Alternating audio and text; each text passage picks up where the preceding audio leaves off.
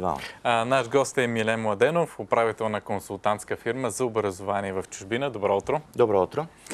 Поканихме ви в навечерието на Деня на независимостта, за да поговорим за младите българи на 21 век. Вие с това се занимавате още взето, за техните амбиции, вълнения, за тяхната позиция по някои от най-актуалните проблеми на нашето време. Първият въпрос е какъв е според вас младият българин, устремил се съвсем основателно към Европа, към нейните университети и ценности? Първо искам да благодаря за поканата и то ден преди отбелязването на това значимо събитие за българска държава и за българския народ, смея да подчертая. Преди да отговоря на въпроса ви, бих желал да прецизираме категорията млад българин, тъй като чисто статистически това е възрастта 23-35 години, а в повечето случаи кандидатите за образование в чужбина на бакалавърски нива са във възрастта 18-19 години, така че малко ще разширим границите. А вече във възрастта 23 и нагоре, това са кандидати за магистрски програми, докторски такива или кандидати за работа в чужбина, т.е. за професионална реализация в рамките на Европейския съюз. А на въпроса какъв е младият българин, амбициозният млад българин е такъв, който а, търси а, възможно по-добро образование на първо място. На следващ етап а, търси признание за своята квалификация. И а, на трето, съответно, професионална реализация в сферата, която иска да се реализира и то възможно по-добра такава. уточнихте амбициозният българин. Да, подчертах амбициозния, защото все таки не можем mm-hmm. да генерализираме, защото млади-млади това е възраст, а амбициозният е една част от всички тях, все пак. Утре е денят на независимостта, повече от век недели от това голямо историческо събитие. Какви са вашите впечатления? Независим ли е младия, младия човек в своето поведение, в стремежите си, в, в избора си? По-скоро да. Но следва да отбележим, че особено кандидатите за бакалавърски програми са на възраст, казахме, 18-19. Те все още, дори да са независими в своите идеи, в това, което мислят да им се случи, са чисто финансово зависими. Така че, бидейки финансово зависими от своите родители, често пъти а, те стават, силно казано, жертва, но така ли не са подвластни на техни амбиции, техни решения, често пъти а, и по отношение на дестинация за образование и, по, и университети, в които да отидат. Така че, по-скоро да, но не съвсем. А често пъти ли всъщност родителите ли решават вашите наблюдения? Понякога да. Каза го. Понякога, понякога. понякога се налага да и така ли иначе кандидатите се съобразяват. Защото са финансово зависими, пак подчертавам. За тези на по-голяма възраст, естествено, които са направили някакъв статус, имат дали заделени средства или идея за финансиране, при тях нещата са категорично да, тръгвайки с тази идея, те имат и финансовия ресурс да го направят. А, независимостта на нашата държава, нейното членство в Европейския съюз, какви предпоставки създава за оформянето на младите хора като свободни личности и възползват ли се те от това всъщност? Предпоставките са, разбира се, много. Аз лично винаги казвам, вие имате възможности. Тоест, много важно е младите хора да разберат какви възможности имат. С влизането ни в Европейския съюз през 2007 година буквално се отвориха вратите на а, европейските държави и нашите права, си, нашите, говоря на българите, като цяло се изравниха с правата на европейските граждани. Тоест, както да по отношение на образование, така и по отношение на работа в Европейския съюз. А, така че, преди всеки да тръгне към тази дестинация, следва да се информира и то в много е, висока степен относно своите перспективи. Тоест, по отношение на дестинацията, държавата, в която отива, по отношение на нейната образователна система, защото има нюанси и те следва да се отчитат. По отношение на предлаганите програми, тяхното качество и по-нататъчна реализация. По отношение на самата социална среда в държавите от Европейския съюз. Виждаме, че текат процеси, които така или иначе динамично променят тази среда. И не на последно място цената на, т.е. разходите за живот във всяка една от тях, които макар и близки, не са еднакви. Често пъти именно този фактор се под, подценява от кандидатите, така че да, те избират дестинация, в която е безплатно образованието, но реално има висок стандарт на живот, или дестинация, в която привидно ниски так, няма такси или са привидно ниски таксите за образование, без да учитат този фактор и това в голяма степен води до разочарование вече на място, когато трябва да се справят с всички тези предизвикателства. Може би тук е мястото да малко статистика да, да. да дадем, въпреки че, подчертавам, статистически данни точни, категорични в тези години няма и не можем да се опрем на тях на 100%, но все таки те ще дадат представа за процесите, които текат в последните 8 години след влизането ни в Европейския съюз. От публикации в последните месеци става ясно, че ежегодно между 50 и 70 хиляди българи напускат България. Българи като цяло, mm-hmm. страната. От тях около половината а, са, заминават за продължаване на образованието си в чужбина. По данни на Deutsche Welle, а, това са 30 хиляди българи. Аз лично смятам, че ако заложим на а, една цифра от около 10-12 хиляди годишно средно за тези години, това е близко до реалността, тъй като по данни от проучване около 80 хиляди са българските студенти към момента в Европа. Тоест 8 по 10, 80 хиляди има логика да бъде реалистична тази цифра. Друго нещо, което бих желал да отбележа е факта, че между 10 и 30% от а, абитуриентите всяка година а, обмислят, а голяма част от тях и кандидатстват и заминават за образование в чужбина. Като а, при високия процент е за тези от елитните училища, от столицата и големите градове. Тук също ще отбележа, за съжаление, че поне и по наши констатации, а, информираността на младите хора от по-малките населени места в страната е по-малка и вероятно в тази насока би следвало да се работи, за да може и те да имат равни шансове. Най-малкото да знаят какви възможности имат, а дали ще ги реализират е вече съвсем друг въпрос. А между другото, за Варна можем ли да кажем някои неща? Ще се въздържа да. от данни, защото mm-hmm. така или иначе mm-hmm. а, те са като цяло за България и малко е трудно.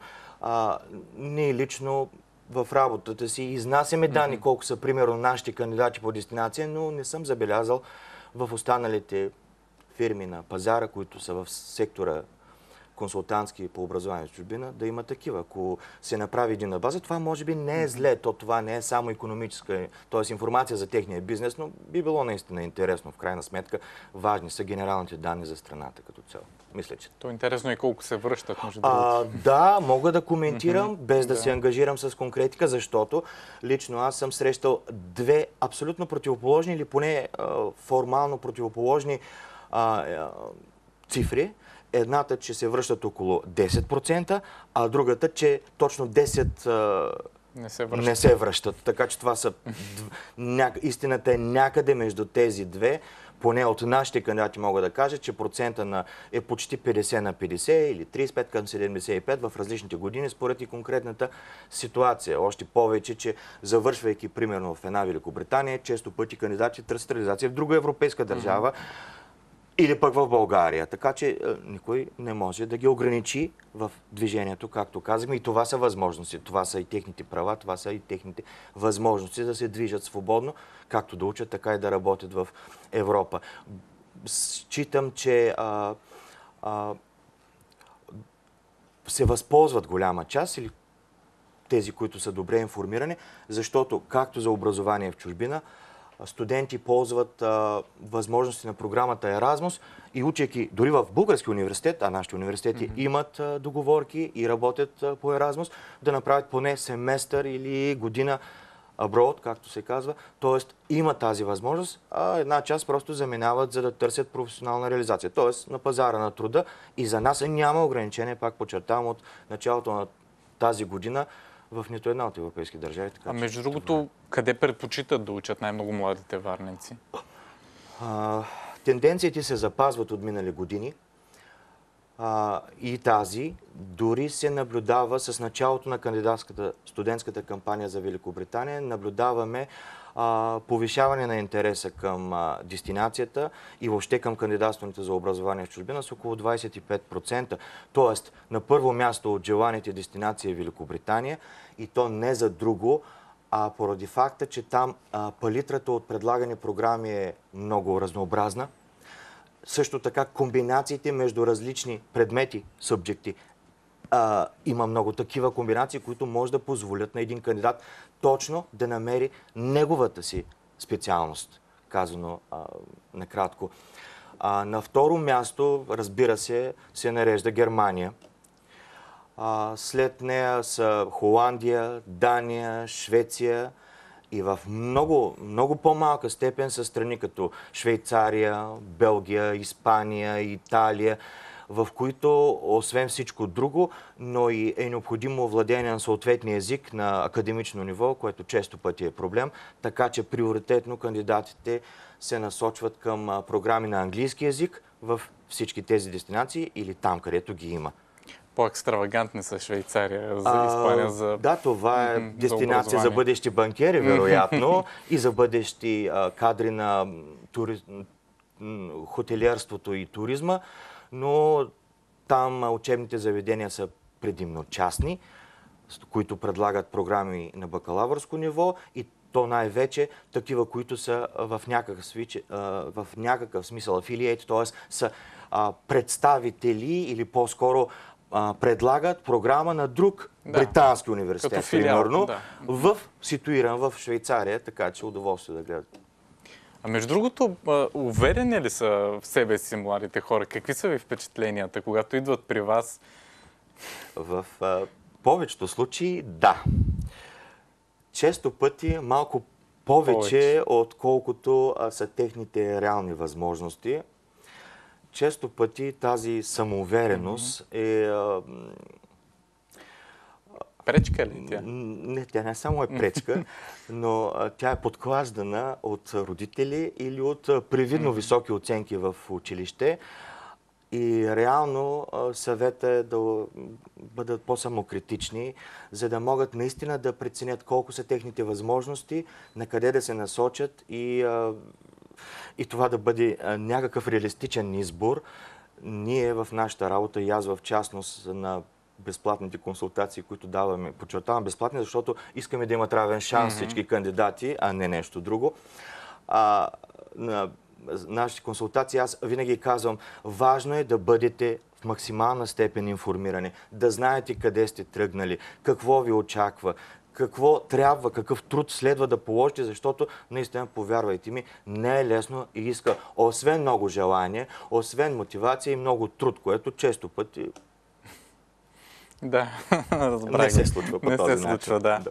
А, какви са ви другите наблюдения? Мислят, мислят ли младите българи за България? Чувстват ли се отговорни за нейното бъдеще? А, ако имате такива впечатления? Да, разбира се, че имам. Имаме и такива, които учат, продължават образованието си в чужбина и пишат книги за младите българи. Няма да казвам имена, но, но има и такива. Да, има такива. Категоричен съм, които мислят, а, и не само мислят, но и с действията си а, го показват по един много категоричен начин, че мислят, искат нещо да се случва тук, искат да помогнат mm-hmm. това да се случи нещо, а, нещо тук. Сега, факт е, че българите са много привързани към семейството, дома, приятелите, средата.